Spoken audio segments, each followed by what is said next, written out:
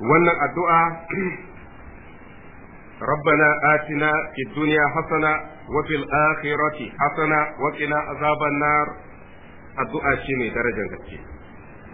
akwai hadisi na Anas bin Malik yana cikin sahihul Bukhari hadisi na 4527 da sahihu Muslim hadisi na 2690 Anas yake cewa kana aksaru da'awatin yad'u biha Rasulullah Addu'a da annabi ya fi yawaita riko da ita ita ce Allahumma rabbana atina fid dunya hasana wa fil akhirati hasana wa qina azaban nar ya Allah ka ba mu mai kyau a duniya kuma ka ba mu mai kyau a lahira. Ka tsare mu daga azabar wuta. Anas ya ce wannan addu'a ita ce addu'a da manzon Allah ya fi riko da ita a rayuwarsa. Kun san kuma Anas shekarunsa goma a gidan manzon Allah. A gidan annabi Muhammad. Saboda haka ya san rayuwar annabi ta ciki ya san rayuwar annabi kuma ta waje. Anas bin Malik Allah shi kara masa yarda. Ya kiyaye rayuwar annabi ya tabbatar da cewa addu'an da annabi ya fi riko da ita ita ce wannan. Ita ce ake kira addu'a jami'a saboda ta ƙunshi duk wani alhairin da ɗan adam zai iya nema. Sannan ta ƙunshi duk wani sharri da ɗan adam zai nemi tsari daga gare ka daga gare shi. Wannan addu'a ta ɗauki ta ɗauki duka biyu ɗin nan. Sannan a ƙarshe wakina azaban nar Allah ka tsare mu daga azabar wuta wanda Allah ya tsare shi daga azabar wuta ya tsira. Ga hadisin Abdullah bin Sa'i yana cikin sahihu sunan Abi Dawud hadisi na 1666 إنه سمع النبي صلى الله عليه وسلم يقول فيما بين الركن اليماني والحجر shi wannan sahabin Abdullahi bin Sa'id ya ji annabi yana wannan addu'a a tsakanin rukunul yamani da alhajarul aswad a lokacin dawafi a tsakanin rukunul yamani da kuma alhajarul aswad inda ake fara dawafin nan To kusurwan ƙarshe tsakaninsa da inda ka fara dawafi.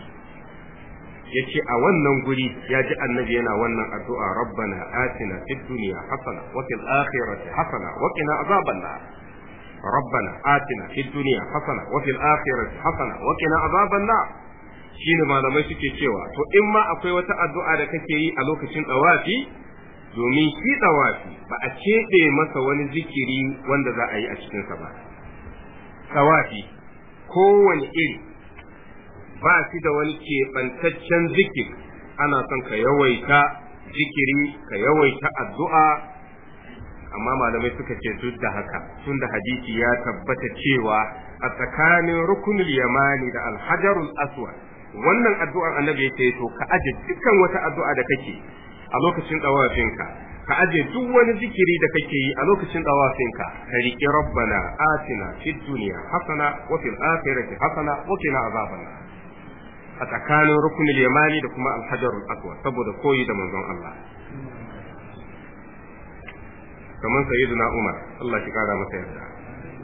Shi kan gaba ɗaya aikin hajinsa ba shi da wata addu'a ce wannan. اللهم ربنا آتنا في الدنيا حسنة وفي الآخرة حسنة وقنا عذاب النار me yasa saboda Allah ne yayi magana akai ya tsawatar yace akwai waɗanda suke roƙon duniya a lokutan aikin hajjin su waɗannan ba su da rabo a lahira sai Allah ya ce to amma akwai masu cewa wa fil akhirati hasana wa qina azaban nar masu faɗan wannan addu'a Allah ya ce ula'ika lahum nasibun su kan za su samu rabon aikin su babu wata addu'a da Allah ya faɗa a Qur'ani sai wannan Allah ya ce masu yin wannan addu'an za su samu rabo a lahira Umar ya ce to ni bani da wata addu'a sai ita don haka daga farkon hajinsa har ƙarshen hajinsa ba shi da wata addu'a illa rabbana atina fid dunya hasana wa fil akhirati hasana wa qina azaban nar. Saboda bin umarnin Allah madaukaki da ya zo a cikin wannan aya. Ita ce addu'a mafi daraja. Akwai hadisin sabiqu wani tabi'i. Yana cikin sahihul adabin mufrad hadisi na 463 sabitu ya tambayi Anas bin Malik. Ya ce masa anas ɗin nan da muka faɗa ya shekara goma a gidan manzon Allah. Ya yi tsawon rai. Malaman tarihi suka ce sai da ya samu shekaru ɗari da ishirin kafin ya mutu. Saboda wata rana annabi ya masa addu'a Allah ya bashi tsawon rai. Can ƙarshen rayuwarsa sahabbai kusan duk wato sun ƙare waɗanda suka ragu ba su da yawa. Saboda haka so ake ma a ga sahabin annabi Muhammad. Idan aka ga sahabin annabi sai a ce koya mana kaza saboda ƙoƙari da dacewa da sunna. Don sahabin manzon Allah yana riƙe da sunna. Anas yana cikin sahabban da suka rage sai wasu mutane suka zo. Suka ce in sabit yake gaya masa cewa inna ikwanaka yuhibbuna an tad'u lahum ga wasu sun zo wasu bayan Allah sun zo gurinka. Anas bin Malik kuma suna son ka yi musu addu'a. Sai Anas bin Malik ya ce Allahumma atina fid dunya hasana wa fil akhirati hasana wa qina azaban nar. Sai ya shiru. Sai tabitu ya ga kamar ko bai ji maganar sa ba ne shi wannan tabi ya Anas ga wasu bayan Allah sun zo suna son ka musu addu'a. Saboda kai sahabin Annabi Muhammad ne. Suna son addu'anka saboda ijaba. Allah ya karɓi addu'anka. Suna son ka musu addu'a.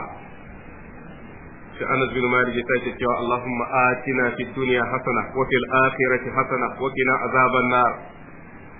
Sai ce ga wasu fa mutane suna son kai musu addu'a. Sai ce turiduna an ashquqa lakum al-umura kuna so ne in wahal da ku wannan addu'a ai ba sai an muku bayani ba babu addu'an da ta fi ta a sunnar annabi Muhammad.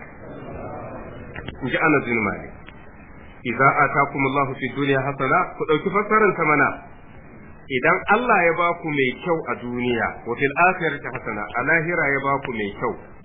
Sannan a lahiran kuma wa waqakum azaban nar ya tsiratar da ku daga azabar wuta. Faqad atakumul khaira kullahu. Ai Allah ya ba ku duka alheri kenan. Kun roƙi mai kyau a duniya mai kyau a lahira Allah ya kare ku daga wuta sai Allah ya karɓi addu'a. Shin akwai wanda ya samu alheri fiye da ku? Don haka babu addu'an da tafi Allahumma rabbana atina fid dunya hasana wa fil akhirati hasana wa qina azaban nar